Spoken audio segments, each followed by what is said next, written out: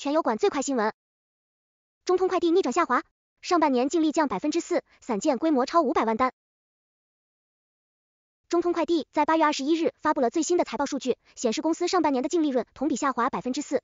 然而，这并不意味着公司的业务量增长速度放缓。相反，中通快递的散件规模已经超五百万单，占整个业务量的百分之五。此外，公司还提到，在当前市场条件和运营情况下，预计二零二四年的全年包裹量将在三百四十七点三亿至三百五十六点四亿之间，同比增长百分之十五至百分之十八。中通快递逆转下滑，上半年净利降百分之四，散件规模超五百万单。这表明公司正在努力实现业务量和利润的平衡。